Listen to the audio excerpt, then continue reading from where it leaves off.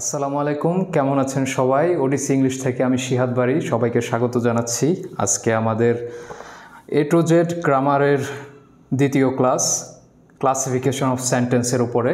এটা সেন্টেন্সের part two এর ক্লাস হচ্ছে। তো চলুন কথা না বেরিয়ে ক্লাস শুরু করি। তো কালকে আমরা জেনেছিলাম সেন্টেন্সের এলিমেন্টসগুলো সম্পর্কে। আজকে আমরা সেন্টেন্সের স্ট্রাকচারগুলো সম্পর্কে জানব। এবং তাদেরকে কীভাবে ট্রান্সফর্ম করতে হয়, সেগুলো একটু একটু শিখব।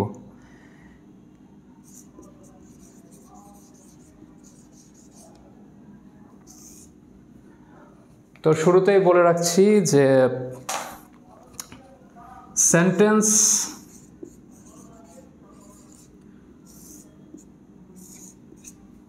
সেন্টেন্স অর্থগতভাবে পাঁচ প্রকারের হতে পারে, আর গঠনগতভাবে সেন্টেন্স তিন প্রকারের হয়।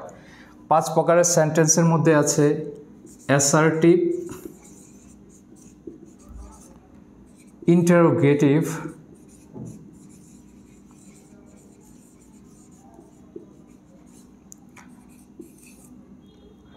ইম্পারেটিভ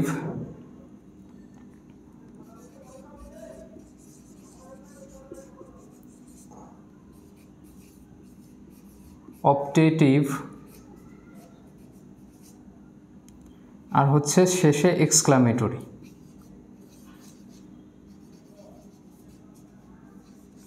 আর গঠনগতভাবে সিম্পল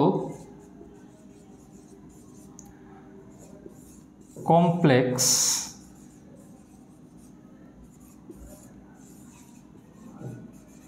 কম্পাউন্ড আচ্ছা এই যে সিম্পল কমপ্লেক্স কম্পাউন্ড এগুলো আমাদের এখন পড়ার দরকার নেই এই সেন্টেন্সের ভিতরে।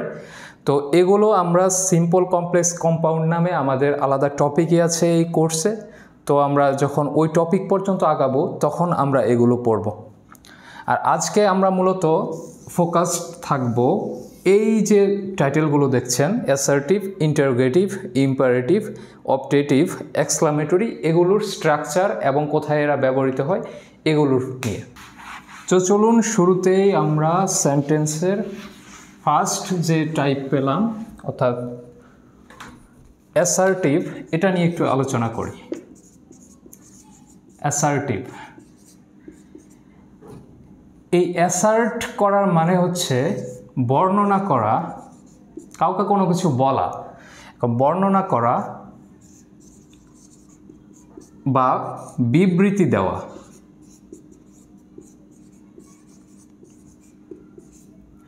অ্যাসার্ট করার মানে হচ্ছে বর্ণনা করা বা বিবৃতি দেওয়া।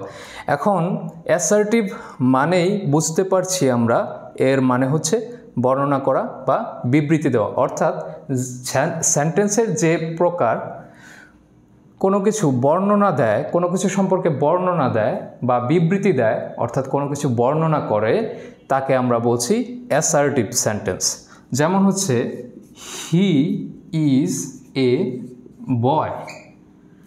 সে একজন বালক। তার সম্পর্কে আমরা বর্ণনা দিলাম যে সে হচ্ছে একজন বালক। যে এই যে তার সম্পর্কে বর্ণনা, এটাই হচ্ছে তার সম্পর্কে আমরা কোনো কিছু অ্যাসার্ট করলাম, অর্থাৎ একটি বিবৃতি দিলাম। এখন এই অ্যাসার্টিভ সেন্টেন্স অর্থাৎ বিবৃতি, দুই ধরনের হয়ে থাকে। যেমন কারক সম্পর্কে আমরা পজিটিভ কোনো বিবৃতি দিতে পারি,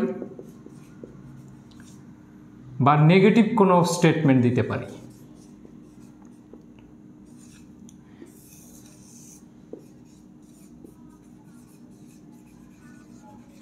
এই বিবৃতির ইংলিশ কিন্তু স্টেটমেন্ট আচ্ছা কারও সম্পর্কে বর্ণনা দিতে গেলে তার সম্পর্কে আমরা পজিটিভ কিছু বলতে পারি বা নেগেটিভ কিছু বলতে পারি। এই জন্যেই এই অ্যাসার্টিভ সেন্টেন্সের দুই রকমের হয়। এক হচ্ছে অ্যাফার্মেটিভ অর্থাৎ পজিটিভ আর দুই নম্বরটা হচ্ছে নেগেটিভ এখন যদি বলি হি ইজ এ গুড বয় এখন আমরা তাকে ভালো বলছি যে হি ইজ এ গুড বয় সে একজন ভালো ছেলে। কিন্তু যদি আমরা এইভাবে লিখি he is not a good boy সে ভালো ছেলে না। এই যে আমরা না বোধক একটা বাক্য লিখলাম, এই না এর মানে হচ্ছে নেগেটিভ তার সম্পর্কে আমরা একটা নেগেটিভ স্টেটমেন্ট দিলাম। এই নেগেটিভ স্টেটমেন্টগুলো হচ্ছে, এই নেগেটিভ ক্যাটাগরিতে পড়ে আর পজিটিভ স্টেটমেন্ট যেগুলো কোনো না বোধক কোনো কিছু না থাকে, সেগুলো হচ্ছে অ্যাফার্মেটিভ অর্থাৎ পজিটিভ বাক্যের মধ্যে পড়ে।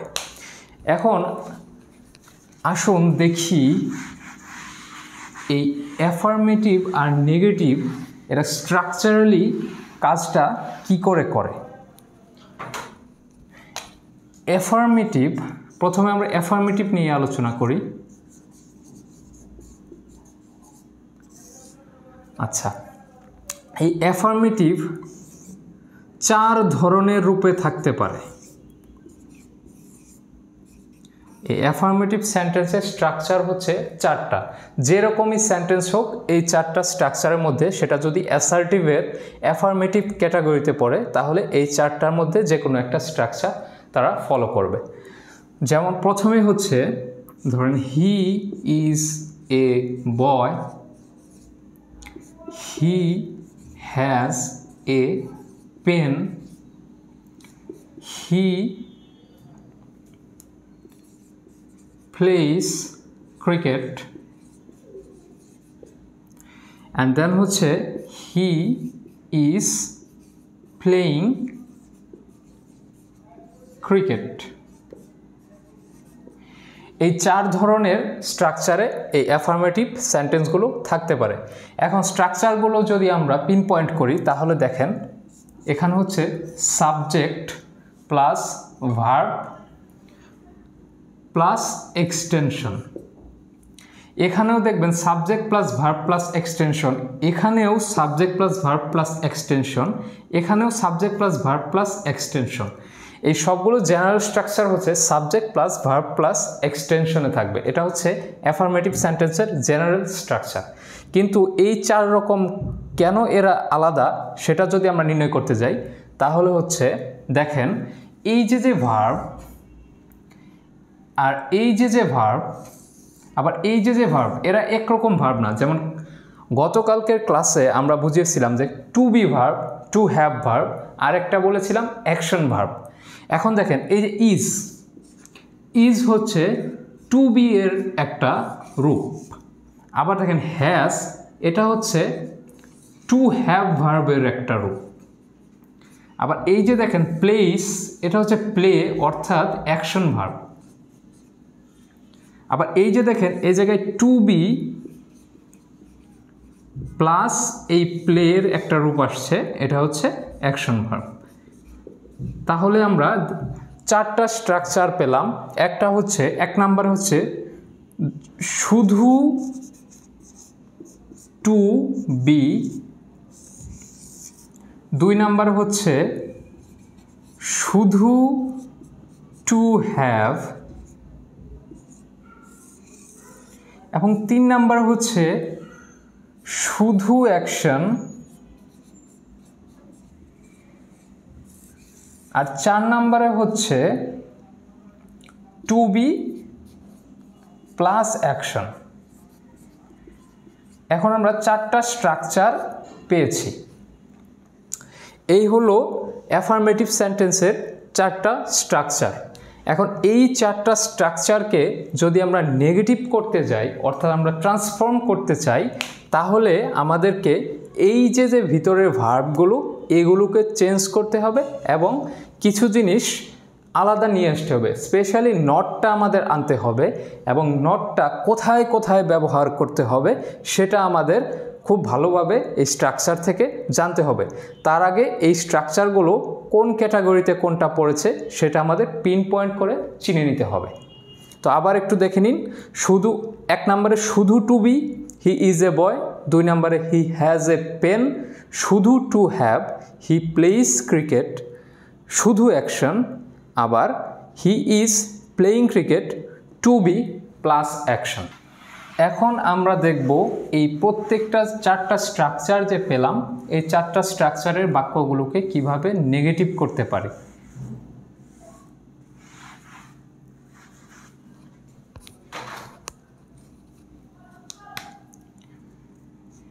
এখন এটা হলো অ্যাফার্মেটিভ এখন একে যদি আমি নেগেটিভ করতে যাই, তাহলে আমার একটা নট আনা লাগবে। এখন নট তো আনলাম, কিন্তু বসাবো কোথায়?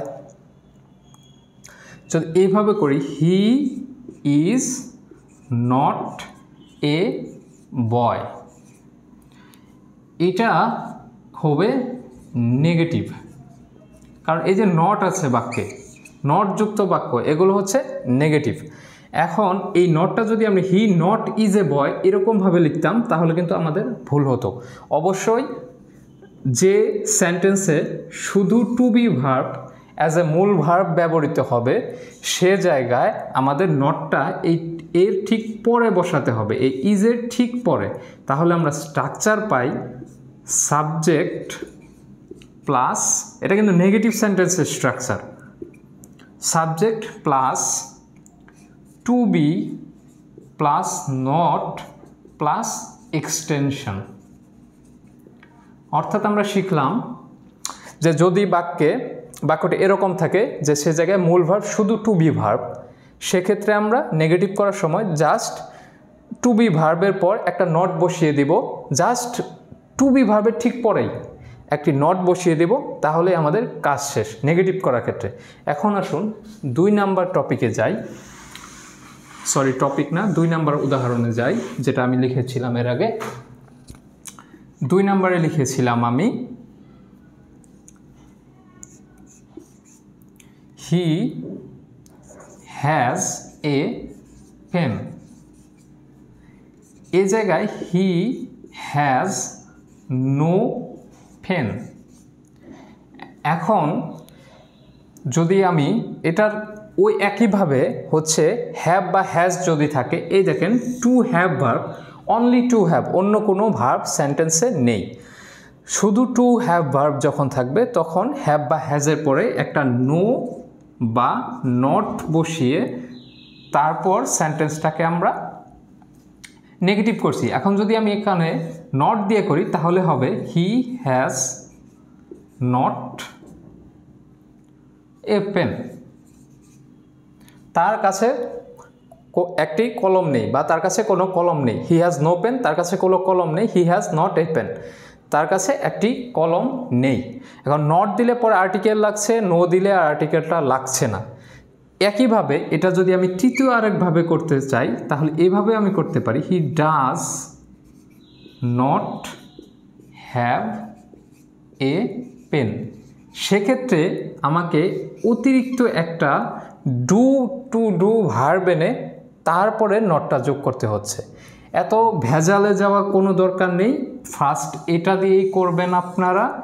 He has no pen have বা হ্যাজের পরে একটা নো বা নট বসিয়ে দিবেন, যদি নো বসান, তাহলে আর্টিকেলের কোনো দরকার নাই।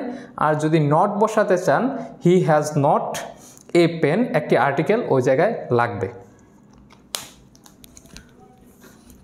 তারপর তৃতীয় স্ট্রাকচারে যাই।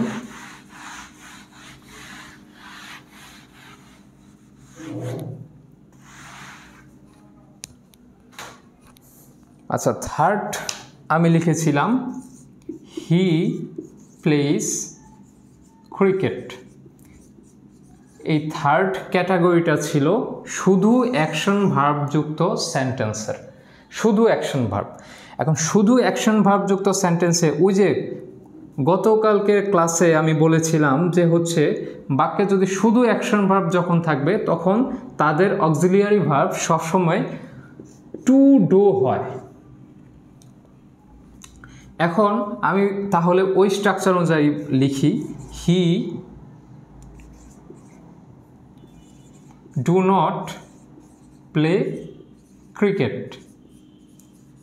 এখন ভাই, লিখেছি, কিন্তু এই যে প্লের সাথে একটা এস বা ইএস যুক্ত আছে এই জায়গায়, এটা আমি কোন জায়গায় বসাবো? He do not plays cricket অথবা he does not play cricket এইভাবে বসাতে পারি। তো রাইট নিয়ম হচ্ছে হি ডাজ এই যে, এই অ্যাকশন ভার্বযুক্ত সেন্টেন্সে যে এস বা ইএসটা থাকবে অ্যাফার্মেটিভ সেন্টেন্সে সেটা নেগেটিভ করার সময় ওই এস বা ইএস এসে যুক্ত হবে এই টু ডো ভার্বের সাথে। অর্থাৎ অক্সিলিয়ারি যে ভার্বটা আমরা নিয়ে আসলাম, ওইটার সাথে। তারপরে নট বসবে, তারপরে বাকি অংশ বসবে। স্ট্রাকচার নির্ণয় করতে গেলে সাবজেক্ট প্লাস ডু বা ডাস বা did plus not plus verb plus extension এইভাবে করতে হবে। তাহলে আমরা পেলাম সাবজেক্ট হি ডু বা ডাস এ জায়গায় এস বা ইএস আছে সেই জন্য আমরা ডাস নট নট বসিয়েছি।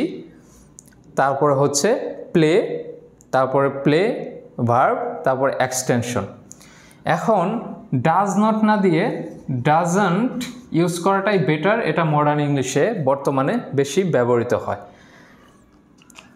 আচ্ছা এই তো গেল হচ্ছে আমাদের তৃতীয় ক্যাটাগরি তাহলে ফোর্থ যে ক্যাটাগরিটা ছিল, সেটা ছিল যে ওই জায়গায় অক্সিলারি ভার্ব থাকবে, আবার অ্যাকশন ভার্বও থাকবে। যেমন হি ইজ প্লেয়িং ক্রিকেট এখন হি ইজ প্লেয়িং ক্রিকেট এই জায়গায় দেখেন, এটা টু বি ভার্ব আর এটা হচ্ছে অ্যাকশন ভার্ব এই টু বি ভার্ব হচ্ছে, এদের কাজই হচ্ছে বলেছিলাম যে টেন্স নির্ণয় করা, যখন এরা অ্যাকশন ভার্বের সাথে বসবে গত ক্লাসে তো এরা টেন্স নির্ণয়ের পাশাপাশি আরেকটা কাজ করে যে আমরা যখনই কোনো আলাদা কিছু লাগে, যেমন নট বসাতে হবে বা হচ্ছে ইন্টারগ্রেটিভ করা লাগবে, সেক্ষেত্রে এরা হচ্ছে ওই কাজটুকু করে দেয়। এই অ্যাকশন ভার্ব আর কোনো কিছুতে কোনো ঝামেলায় জড়ায় না। যেমন হচ্ছে হি ইজ তারপরে নট তারপরে প্লেয়িং ক্রিকেট এই যে ইজ এরপরে নট বসবে। যদি আমরা একসাথে লিখতে চাই, তাহলে he is an playing cricket এই যা আসবে সব কিছু হচ্ছে এই অক্সিলিয়ারি ভার্বের সাথে বসবে। এই মেইন ভার্ব কোনো ঝামেলায় জড়াবে না যখন তার সাথে অক্সিলিয়ারি ভার্ব থাকবে। এই অক্সিলিয়ারি ভার্বের কাজই হচ্ছে এই মেইন ভার্বকে প্রোটেক্ট করা। টেন্স নির্ণয়ের ক্ষেত্রেও এরাই পরিবর্তিত হবে নেগেটিভ করার ক্ষেত্রেও এরাই পরিবর্তিত হবে, আবার ইন্টারগ্রেটিভ করার ক্ষেত্রে এরাই সামনে সাবজেক্টের সামনে পিছনে আসা যাওয়া করবে। এই মেইন ভার্ব কোনো প্রবলেমে কখনোই জড়াবে না। আচ্ছা এই তো গেল আমাদের নেগেটিভ করার চারটা ক্যাটাগরি ও, তাহলে এখানে স্ট্রাকচারটা কি আসতেছে? Subject plus auxiliary plus not plus main verb plus extension আচ্ছা এই ছিল আমাদের অ্যাসার্টিভ সেন্টেন্স নিয়ে আলোচনা অ্যাফার্মেটিভকে কীভাবে নেগেটিভে ট্রান্সফর্ম করতে হয় বা কনভার্ট করতে হয়। আচ্ছা ট্রান্সফর্ম আর কনভার্ট কিন্তু এক জিনিস না।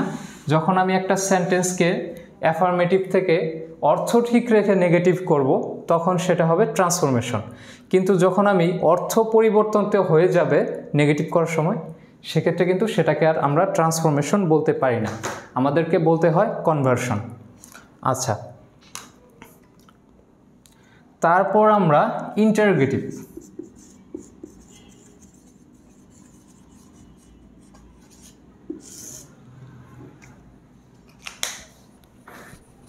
ইন্টারোগেটিভ এর ইন্টারোগেট করা মানে হচ্ছে কাউকে কোনো কিছু জিজ্ঞাসা করা।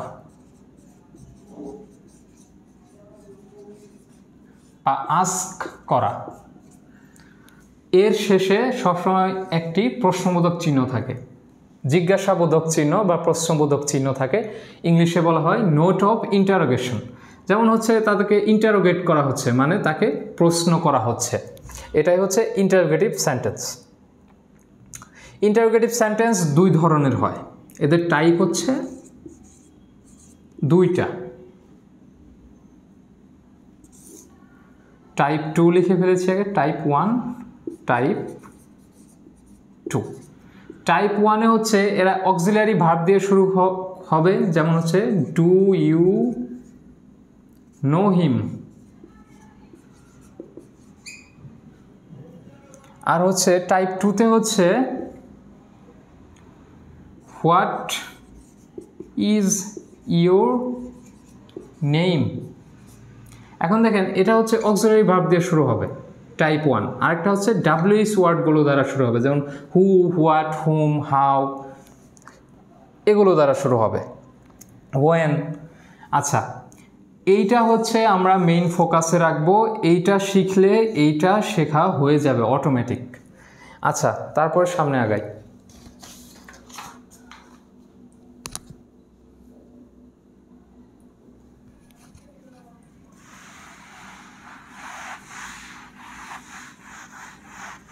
এখন নেগেটিভ আমরা একটা অ্যাসার্টিভ সেন্টেন্সকে যদি আমরা নেগেটিভ করতে চাই ইন্টারগ্রেটিভ করতে চাই, একটা অ্যাসার্টিভ সেন্টেন্সকে যদি আমরা ইন্টারগ্রেটিভ করতে চাই, তাহলে আমরা কীভাবে কনভার্ট করব সেটা শিখব এখন।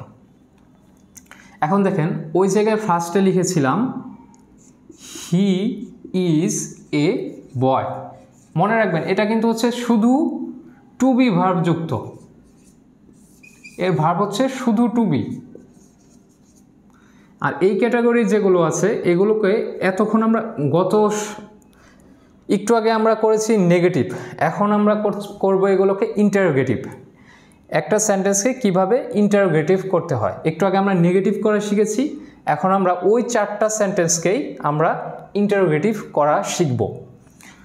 এখন দেখেন, এই জায়গায় ভার্ভ হিসাবে শুধু টু বি আছে। এখন এই ধরনের যদি শুধু টু বিযুক্ত কোনো সেন্টেন্স থাকে, সেক্ষেত্রে আমাদের কোনো ঝামেলা করা লাগবে না জাস্ট টু বি ভাবটাকে সাবজেক্টের সামনে নিয়ে আসুন, কাজ শেষ। ইজ হি এ বয় ও, আরেকটা কাজ আছে, সেটা হচ্ছে এই মার্ক দিতে ভুলবেন না কেউ, তাহলে কিন্তু যে জায়গায় লিখেন, সেই জায়গায় জিরো খাবেন। ইজ হি এ বয় শেষ। আমাদের যদি আমরা দেখি যে to be verb main verb হিসেবে এসেছে, ওই জায়গায় অন্য কোনো ভার্ব নেই, তাহলে জাস্ট ওই ভার্বটাকেই টু বি ভার্বটাকে সাবজেক্টের আগে নিয়ে আসুন। তাহলে স্ট্রাকচার হলো subject O to be plus subject plus extension simple এটা হলো সব থেকে সহজ নিয়ম। তারপর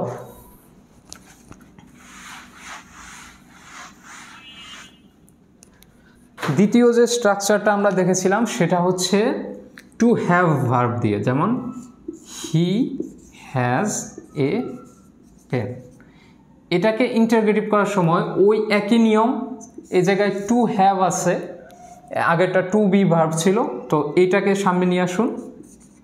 হ্যাজ হি এ পেন তারপর আস্তে করে একটা নোট অফ ইন্টারগ্রেশন বসিয়ে দিন, কাজ শেষ। তাহলে স্ট্রাকচার হলো verb plus to have verb plus subject plus extension তো এরপর থার্ড ক্যাটাগরিতে আসতেছে শুধু অ্যাকশন ভার্ব শুধু অ্যাকশন ভার্ব এটা হচ্ছে লিখেছিলাম হি প্লেইস ক্রিকেট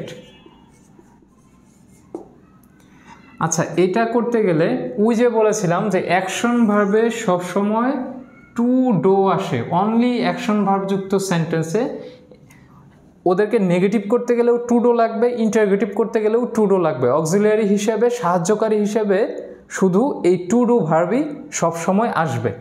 তাহলে প্রথমে আমরা লিখে নিই, আর বলেছিলাম ওই যে মেইন ভার্বের সাথে যা থাকবে অলঙ্কার লাগানো এস বাই এস সব কিছু হচ্ছে ডুয়ের সাথে চলে যাবে। এ জায়গায় এস আছে, সেজন্য আমরা লিখব ডাস হি প্লে ক্রিকেট এই তো কাজ শেষ।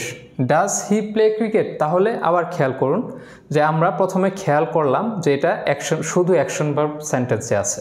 তো অ্যাকশন ভার্ব যদি সেন্টেন্সে থাকে, সেক্ষেত্রে অক্সিলারি ভার্ব সাহায্য করার জন্য সব সময় আসে টু ডো ভার্ব থেকে। আর এই জন্য আমরা ইন্টারগ্রেটিভের ক্ষেত্রে সাবজেক্টের আগে অক্সিলারি ভার্বটি বসাতে হয়।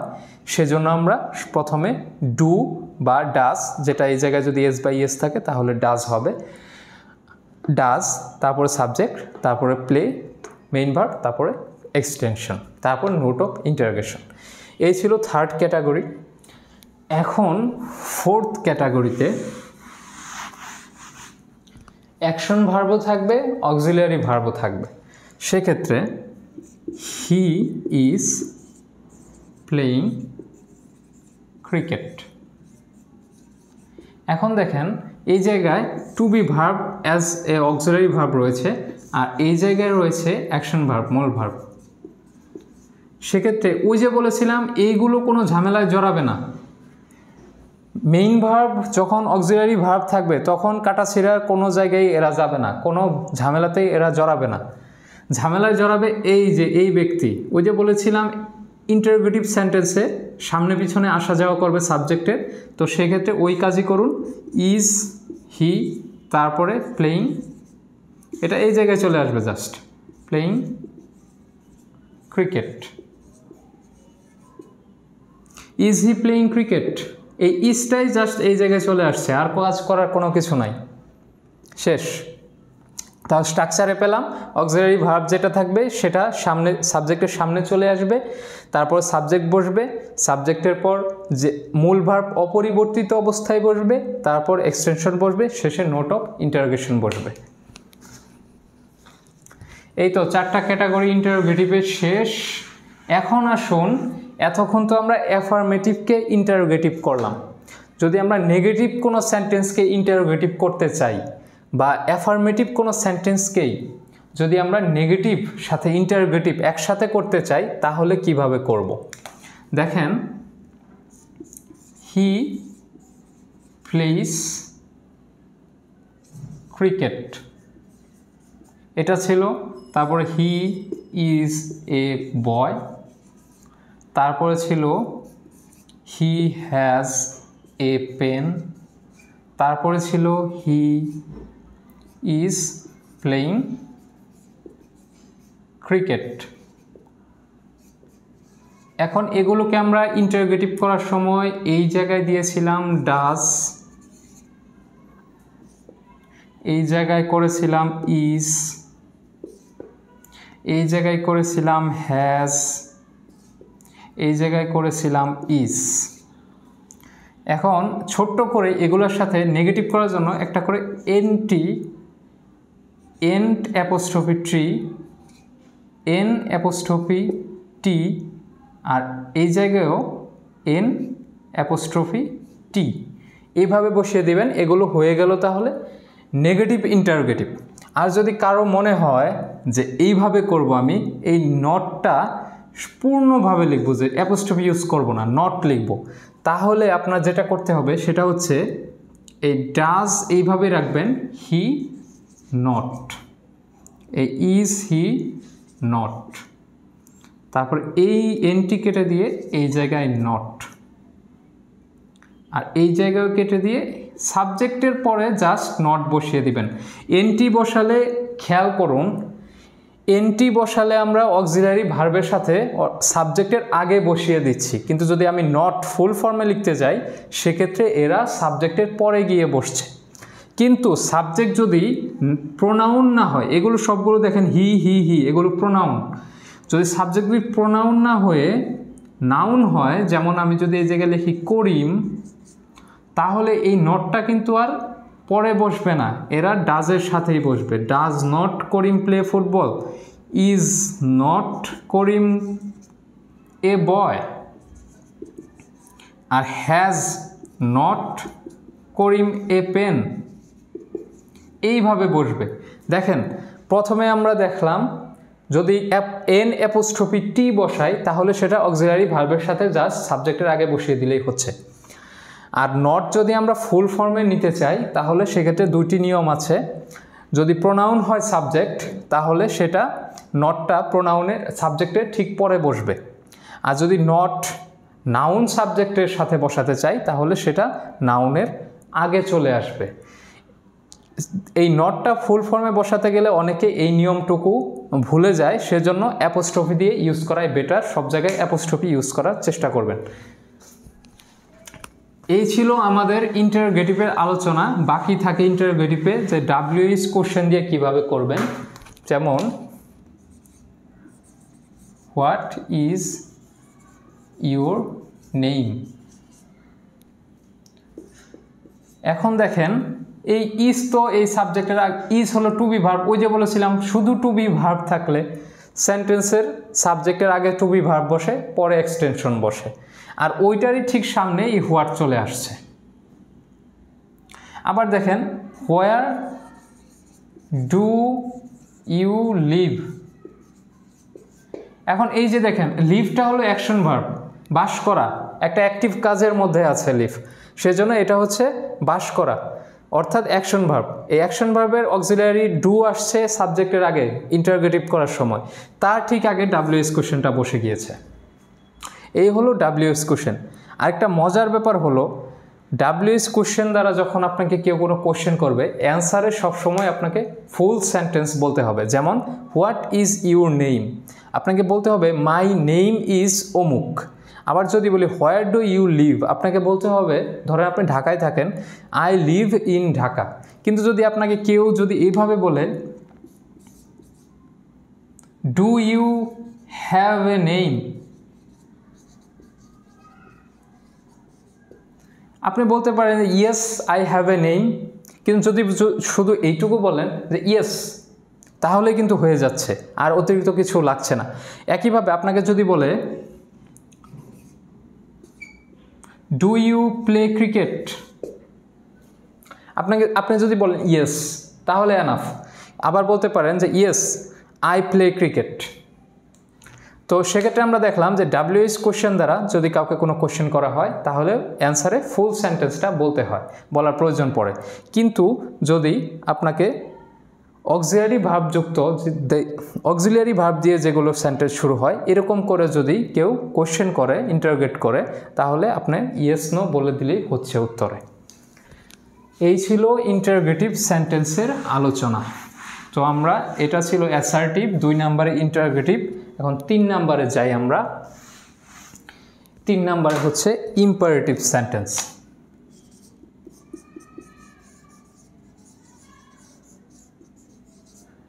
এই ইম্পারেটিভ সেন্টেন্স দ্বারা আদেশ বোঝাতে পারে, নিষেধ বোঝাতে পারে, অনুরোধ বোঝাতে পারে। এই তিনটা জিনিস ইম্পারেটিভ সেন্টেন্স দ্বারা বোঝায়। আদেশ, নিষেধ, অনুরোধ। আদেশ করতে গেলে ডু দ্য ওয়ার্ক ও হ্যাঁ আদেশের সাথে উপদেশও আসে এই জায়গায়। এই স্ট্রাকচার একটাই ডু দ্য ওয়ার্ক এটা আপনি কাউকে আদেশও করতে পারেন, উপদেশও দিতে পারেন যে do the work do as I say আমি যেভাবে বলছি, যেটা বলছি সেটা করো। অথবা ডু দ্য ওয়ার্ক এই কাজটি করো। এগুলো আদেশ বা উপদেশ দুইটাই বোঝায়। নিষেধের ক্ষেত্রে এটাকে নেগেটিভ করে দিন। ডোন্ট ডু দ্য ওয়ার্ক এটা নেগেটিভ অর্থাৎ নিষেধ করতে, করছে এখানে যে কাজটি করো না। অনুরোধ করতে গেলে এই যে প্লিজ অথবা কাইন্ডলি ডু দ্য ওয়ার্ক যখনই সেন্টেন্সে প্লিজ বা কাইন্ডলি দেখবেন, তখনই বুঝবেন যে এই জায়গায় এটা অনুরোধ করা বোঝাচ্ছে। আরেকটা জিনিস আছে যেটা ভয়েস চেঞ্জের চেঞ্জের ক্ষেত্রে সব সময় কাজে লাগে, সেটা হচ্ছে let me to the work আমাকে কাজটি করতে দাও। অথবা লেট আস গো দেয়ার চলো সেখানে যাই। এখন এই সেন্টেন্সে একটা অড জিনিস খেয়াল করেছেন যে কোনো সাবজেক্ট নাই। এই জায়গায় কোনো সাবজেক্ট নাই, এই জায়গায় কোনো সাবজেক্ট নাই। শুরুই হচ্ছে ভার্ব দিয়ে। আমরা তো পড়েছি যে সাবজেক্ট ছাড়া সেন্টেন্স হয় না ভার্ব ছাড়া সেন্টেন্স হয় না। এই জায়গায় ভার্ব আছে, কিন্তু সাবজেক্ট নাই। এগুলো কই?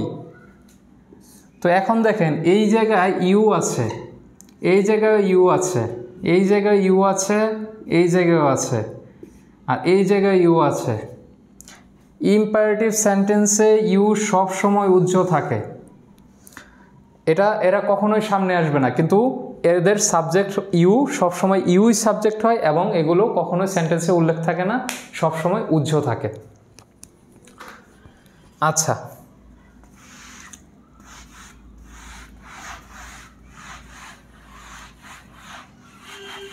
এরপরে এই ছিল ইম্পারেটিভ সেন্টেন্সের আলোচনা।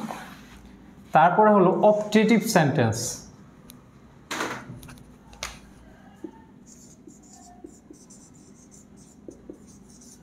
অপটেটিভ সেন্টেন্স দিয়ে বোঝায় মনের ইচ্ছা বা হচ্ছে প্রার্থনা। আপনার মনে যদি কোনো ইচ্ছা থাকে সেটা যদি আপনি ব্যক্ত করেন বা আপনি যদি কোনো কিছু প্রার্থনা করেন, অর্থাৎ আল্লাহর কাছে চান, সেটা আপনি এই অপারেটিভ সেন্টেন্স দিয়ে ব্যক্ত করবেন। যেমন হচ্ছে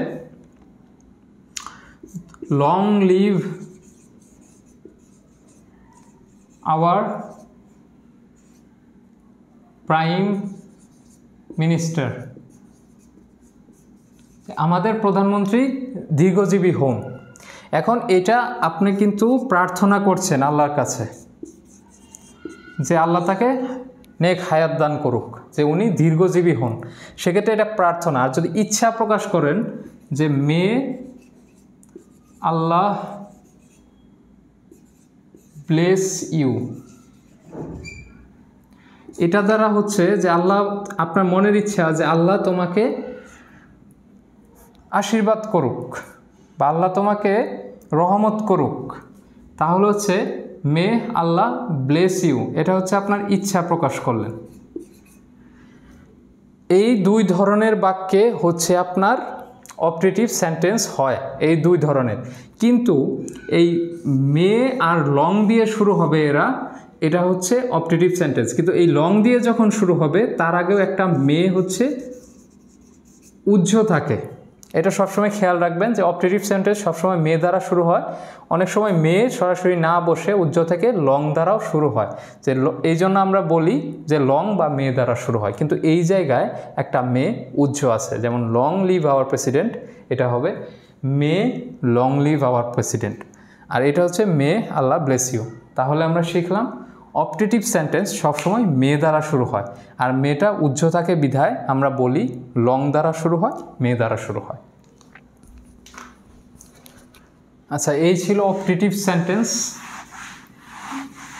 তারপরে হচ্ছে এক্সক্লামেটরি সেন্টেন্স। প্রায় শেষ আমাদের আলোচনা। পাঁচ নাম্বারে চলে এসেছি।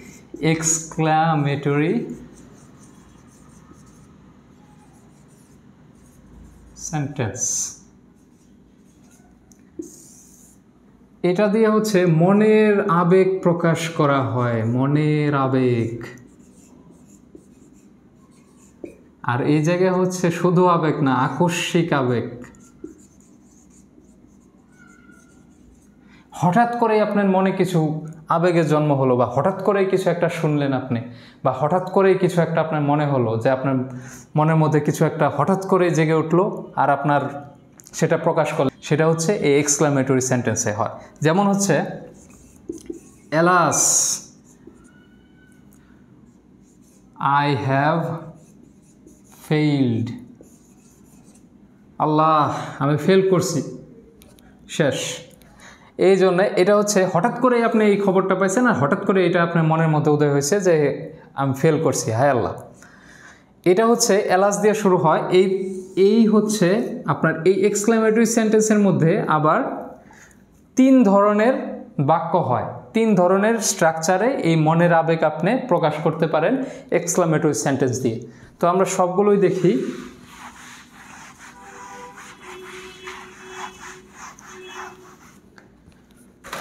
টাইপ ওয়ানে আমরা দেখেছিলাম যে এটা যেটা লিখেছিলাম এলাস আই হ্যাভ ফেইল্ড দুই নম্বরে আমরা দেখে, যদি বলি, তাহলে হচ্ছে how beautiful the boy is তারপর যদি আমরা তিন নম্বরে লিখি if I were a king এখন দেখেন, এই জায়গায় এক্সক্লামেটরি প্রথম সেন্টেন্সটা এটা মাঝখানে বসেছে আর এই দুইটা জায়গায় শেষে বসেছে। অর্থাৎ যদি আমরা এই ধরনের কোনো বাক্য পাই এলাস হুররা বা হচ্ছে ফাই, এই ধরনের এক্সক্লামেটরি ওয়ার্ড যেগুলো আছে, সেগুলো যদি থাকে, তাহলে আমরা ওইগুলোর সাথে ঠিক মা, ওইগুলো ওই ওয়ার্ডটা ঠিক শেষে আমরা নোট অফ এক্সক্লামেশন বসিয়ে দিচ্ছি। তারপরে বাকি অংশ লিখে ফুল স্টপ বসতেছে। কিন্তু দ্বিতীয় দুইটা যে ক্যাটাগরি আছে, সে জায়গায় সরাসরি শেষে গিয়ে এই চিহ্নটা বসছে। তো এটা খেয়াল রাখবেন, দুইবার ইউজ করার কোনো দরকার নাই। তো আমরা ফার্স্ট ক্যাটাগরি নিয়ে আলোচনা করলে, তো এটার আলোচনা মোটামুটি শেষ। আচ্ছা দ্বিতীয় যে ক্যাটাগরি সেটা হলো যে how beautiful the boy is সেক্ষেত্রে এই এই সেন্টেন্সটা দুই ধরনের ক্যাটাগরিতে থাকতে পারে হাউ দ্বারা শুরু হতে পারে বা হোয়াট এ দ্বারা শুরু হতে পারে। তার আমরা যদি স্ট্রাকচার নির্ণয় করতে যাই, তাহলে হচ্ছে হাউ বা what a plus adjective plus subject plus verb plus এই নোট অফ এক্সক্লামেশন এইভাবে হচ্ছে এই দুই হাউ থাকতে পারে হোয়াটেও থাকতে পারে। এই দুই ধরনে এই সেন্টেন্সটা হতে পারে। তারপর হচ্ছে তৃতীয় যে ক্যাটাগরিটা রয়েছে, সেটা হচ্ছে if I were a king অথবা এইভাবেও থাকতে পারে, এটা স্ট্রাকচার দুইটা ইফ এটা ইফ না, এটা হচ্ছে had I been a king এখন দেখেন যে একটাতে বলছে if I were a king এই ইফ যুক্ত যেটা থাকবে সেটাতে if plus subject plus verb plus extension plus note of exclamation R had দ্বারা যেটা যুক্ত, সেটা had plus subject plus verb plus extension অর্থাৎ আমরা স্ট্রাকচারে পাই ইফ বা had plus subject plus verb plus extension plus হচ্ছে নোট অফ এক্সক্লামেশন আচ্ছা এই ছিল মোটামুটি আজকের ক্লাস তো আমরা পাঁচটা সেন্টেন্সের স্ট্রাকচার শিখলাম। প্রথমে হচ্ছে আমরা অ্যাফার্মেটিভ এবং নেগেটিভ সেন্টেন্স কীভাবে হচ্ছে অ্যাফার্মেটিভকে নেগেটিভ করতে হয় এটা শিখেছি, তারপর ইন্টারোগেটিভ সেন্টেন্স কাকে বলে, তারপর ইন্টারোগেটিভ সেন্টেন্সে কীভাবে হচ্ছে অ্যাফার্মেটিভ সেন্টেন্সকে ইন্টারোগেটিভ করতে হয় বা নেগেটিভ সেন্টেন্সকে কীভাবে ইন্টারোগেটিভ করতে হয় এটা শিখেছি। তারপর হচ্ছে ইম্পারেটিভ সেন্টেন্স দ্বারা কি কি বোঝানো হয়, এরা কয় ধরনের স্ট্রাকচারে থাকতে পারে অপটেটিভ সেন্টেন্স কয় ধরনের স্ট্রাকচারে থাকতে পারে, আবার এক্সক্লামেটরি সেন্টেন্স দ্বারা মনের ভাব কীভাবে প্রকাশ করা হয়, এরা কয় ধরনের স্ট্রাকচারে থাকতে পারে সেটাও দেখলাম। এই ছিল আজকের ক্লাস। ভিডিওটি ভালো লাগলে লাইক দিবেন, কমেন্ট করবেন, শেয়ার করবেন, আর অবশ্যই আমাদের ফেসবুক গ্রুপে জয়েন করবেন, আর এই চ্যানেলটি সাবস্ক্রাইব করবেন। আমাদের ফেসবুক গ্রুপে এই লেকচারের ফুল শিট দেওয়া আছে। ওই জায়গা থেকে এই লেকচারের শিট অবশ্যই সংগ্রহ করে নেবেন এবং খাতা কলম নিয়ে প্র্যাকটিস করবেন। আজকের মতো এই পর্যন্তই। ভালো থাকবেন সবাই। আসসালামু আলাইকুম ওরহমতুল্লাহ